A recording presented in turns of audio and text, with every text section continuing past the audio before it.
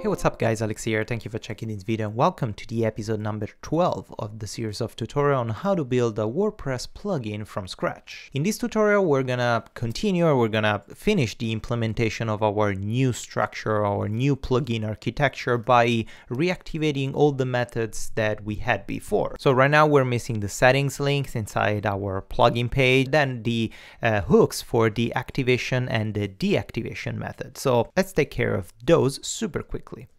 First, we can create, as I said, by following the logic of the previous video, we can create a new file simply called uh, settings or settings links or plugin links or however you want. I like to call it settings links.php. I'm gonna call it here. I'm gonna duplicate deactivate method here. I'm gonna just paste it because I have the same exact structure. I'm gonna call these settings links and here I'm gonna create a public function that is not static called register.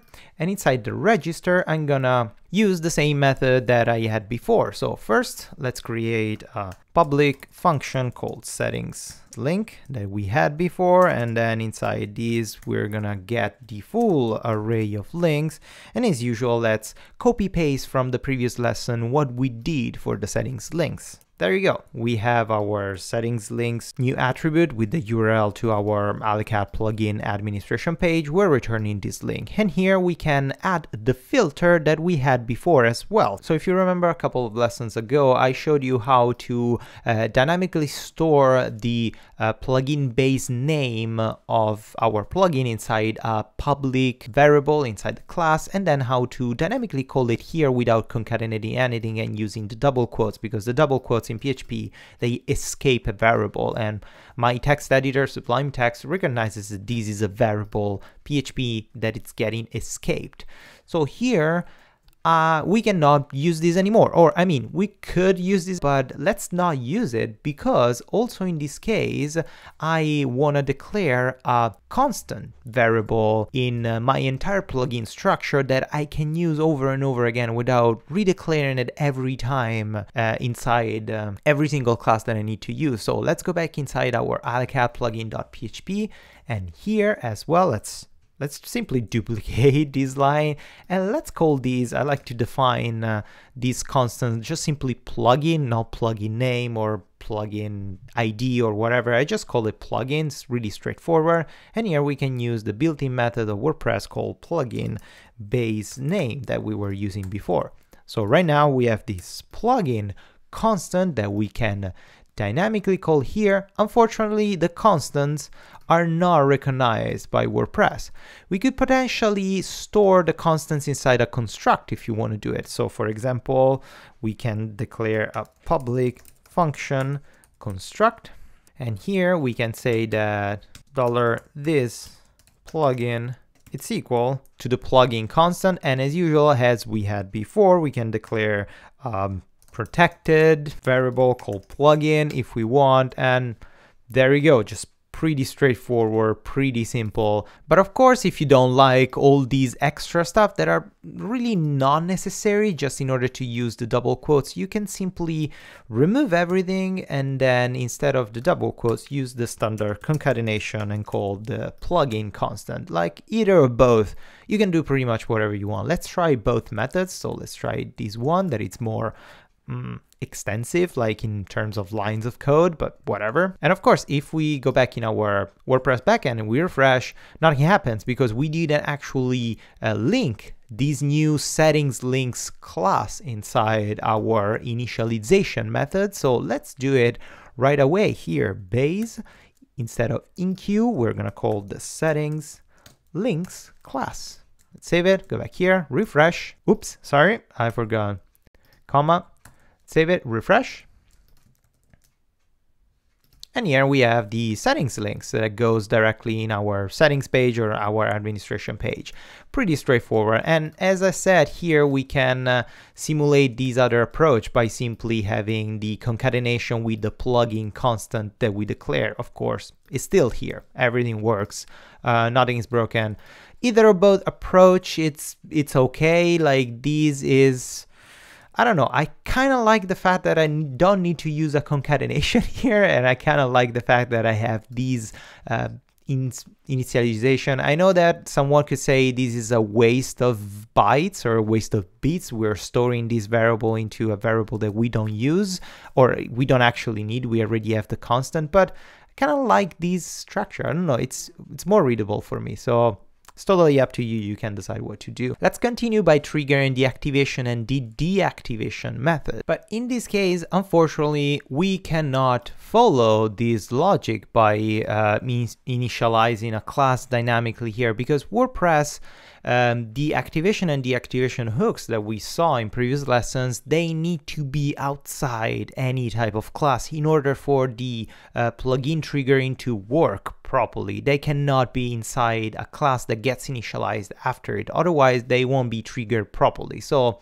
let's go back in our Alecaddd plugin and I swear this is the last thing that we add inside this, but the thing that we need to do is to define the activation and deactivation hook and use it to actually trigger procedural methods that we'll call those classes. So it's kind of crappy and it's kind of like forced, but that's how WordPress works and that's how WordPress needs you to uh, trigger those methods. Otherwise, they won't work properly. So let's do just these couple of things. Register the activation hook and let's specify I want to register the activation hook on this file and we can call a procedural function called activate alecaddd plugin. Here let's duplicate and deactivate deactivation hook deactivate alecaddd plugin. And here we can specify those procedural function called activate alecaddd plugin. We can call activate, activate, pretty weird. And then let's duplicate all this stuff and let's write the deactivate, deactivate Alecaddd plugin and here deactivate, deactivate. Of course, this won't work because we need to require those two methods. So we need to require those two classes, but because we're using autoload, we can say use inc base activate and then inc base deactivate. Let's save it. Let's go back in our WordPress backend. Let's refresh. Deactivate, all good. Activate, all good. Perfect. We are properly calling those methods by using this weird approach, but the problem is that as I said, WordPress requires the registration, uh, the activation and deactivation hooks to be registered outside any class. We cannot declare inside a class. It needs to be completely procedural in order to properly work. And deactivate and deactivate method usually are necessary to trigger some small methodologies. In our case, we're using to trigger the flush rewrite rules because we're going to deal with custom post types and custom taxonomy and stuff like that. But also here with deactivate and deactivate, you could use them to declare some uh, specific options to populate or um, remove some uh, placeholder stuff inside the database and stuff stuff like that. Like it's totally up to you. If you don't need to do anything on the activation or deactivation, you can totally remove this stuff. But by default, I kind of like this approach and um, that's the structure that I like to use. So let's write some comments to define better what I'm doing here.